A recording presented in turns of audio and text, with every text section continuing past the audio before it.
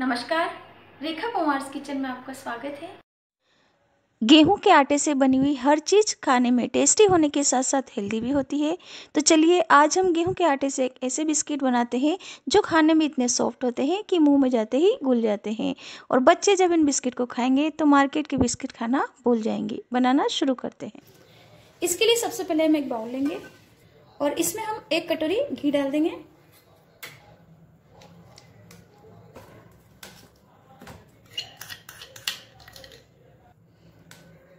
बस हमें इस बात का ध्यान रखना है कि घी पिघला हुआ नहीं होना चाहिए, यानी कि मेल्टेड नहीं होना चाहिए। इस तरीके से रूम टेम्परेचर का घी हमें लेना है। तो अब हम इसमें एक कटोरी पीसी हुई चीनी डाल देंगे। जिस कटोरी के नाप से मैंने घी लिया था, उसी के नाप से मैंने चीनी ली है। लेकिन यदि आप कम मीठा खाते हैं तो आप चीनी की मात्रा कम कर सकते हैं।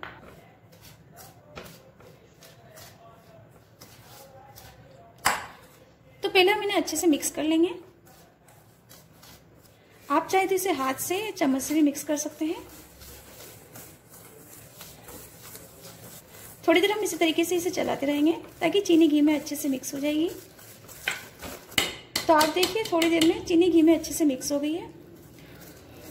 तो अब हम इसे विस्कर की हेल्प से थोड़ी देर फेंट लेंगे।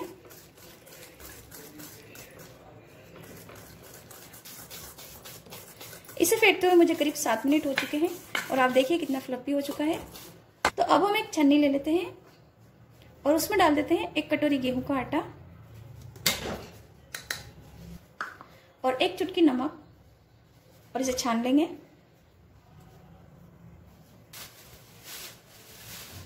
अब हम यहाँ पर एक कटोरी बेसन लेंगे। लेकिन इसमें से तीन टेबल स्पून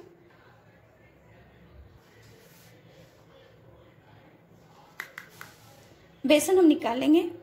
यानी कि एक कटोरी में तीन टेबल स्पून बेसन हम कम करेंगे। आप चाहे तो तीन टेबल स्पून बेसन पहले कम कर सकते हैं। लेकिन मुझे मेज़रमेंट दिखाना था, इस वजह से मैंने यहाँ पर इस तरीके से आपको बताया है। और यही तीन टेबल स्पून हम इसमें डाल देंगे मैदा। इसे भी छान लेंगे। अब हम इसमें डाल देंगे थोड़ा सा इलायची पाउडर। और दो छोटी चम्मच नारियल का बूरा। अब हम इन्हें अच्छे से मिक्स कर लेंगे।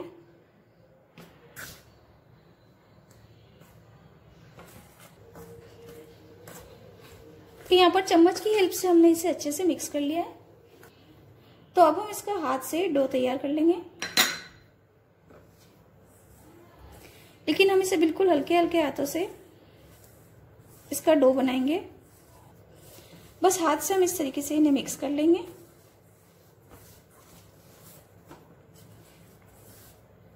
इसे घूटने की ज़रूरत नहीं है। तो इस तरीके से हाथों से हमने इसे अच्छे से मिक्स कर लिया है। तो अब मैं इसमें एक छोटी चम्मच चीनी डाल रही हूँ।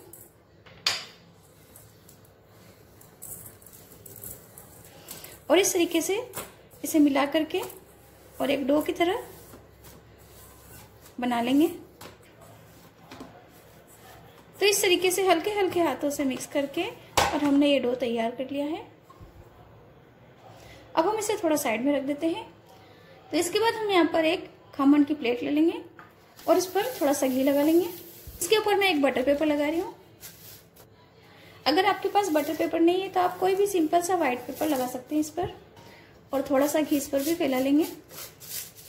ये चिपका नहीं, इसके लिए बटर पेपर हम इस पर लगा रहे हैं। और कुछ बिस्किट हम माइक्रोवेव में भी बनाएँगे। इस पर मैं हल्का सा घी लगा लूँगी। तो इस तरीके से बेकिंग ट्रे पर भी घी लगाने के बाद अब हम बिस्किट बनाना शुरू करते हैं। तो इसके लिए हम एक छोटा सा हिस्सा लेंगे। और इसे बिल्कुल हल्के हाथों से इस तरीके से लेकर के और एक पेड़े का शेप दे देंगे। देखिए इस तरीके से।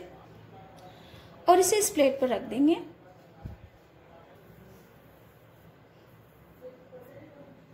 हमने यहाँ पर कुछ पेड़े बना करके रेडी कर लिए हैं। तो अब हम इसे हल्के से उंगली से बीच में प्रेस कर देंगे।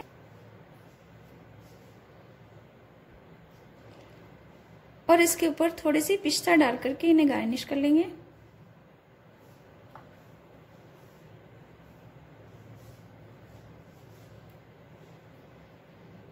अगर आपको लगे कि ये पेड़े थोड़े गीले होने लगे हैं, क्योंकि गर्मी की वजह से घी पिघलने लगता है तो आप इसे थोड़ी देर के लिए फ्रिज में रख दीजिए और उसके बाद आप इसे बेक कीजिए। अब हम इसे भी बीच में से इस तरीके से प्रेस कर देंगे। तो हमारे ये बिस्किट भी तैयार हो गए हैं। चलिए अब हम इन्हें बेक कर लेते हैं। तो अब हम गैस पर पैन चढ़ाकर इसे 10 मिनट के लिए प्रीहीट होने के लिए रख देंगे।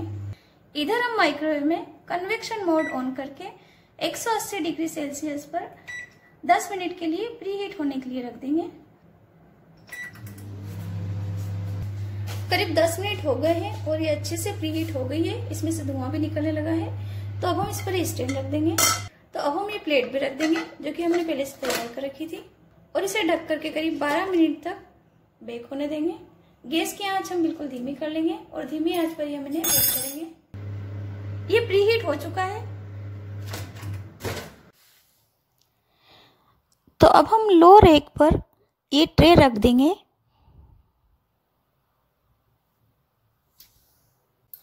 अब फिर से हम इन्हें 15 मिनट के लिए 180 डिग्री सेल्सियस पर बेक होने के लिए रख देंगे।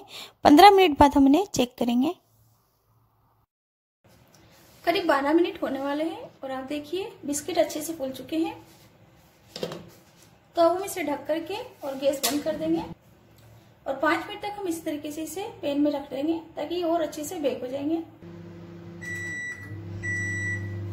पंद्रह मिनट हो चुके हैं तो अब हम इसे स्टॉप कर लेंगे।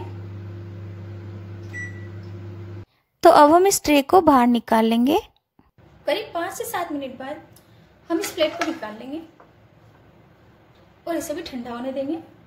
तो लीजिए हमारे दोनों ही तरह के बिस्किट बन करके तैयार है। और आप देख सकते हैं दोनों ही बिस्किट कितने अच्छे से फूले हैं। बस दोनों में थोड़ा सा कलर का डिफरेंस है। लेकिन टेस्ट में कोई अंतर नहीं है। तो आप देख सकते हैं कितने अच्छे से बेक हुए हैं। थोड़ा ठंडा होने के बाद हम इन्हें एक प्लेट में निकाल लेंगे। और जो बिस्किट हमने पेन में तैयार किए थे, वो भी बहुत अच्छे से फूले हैं। ये बिस्किट अंदर से बहुत अच्छे से बेक हुए हैं। मैं आपको एक तोड़कर भी दिखा देती हूँ। देखिए, कितने अच्छे से टूट रहे हैं। ये बिस्किट भी मैं आपको तोड़कर दिखा देती हूँ। देखिए, ये भी कितने अच्छे से अंदर से बेक हुए हैं। अगर इनका कलर नीचे से थोड़ा डार्क आ गया है तो आप चाकू से थोड़ा सा हटा लीजिए। बाकी टेस्ट इनका दोनों का बहुत अच्छा है। तो आशा करती हूँ कि आपको मेरी आज की रेसिपी पसंद आई होगी। यदि रेसिपी पसंद आती है, प्लीज़ इसे लाइक कीजिए, शेयर कीजिए और मेरे चैनल को सब्सक्राइब करना ना भूलिए। Thank you.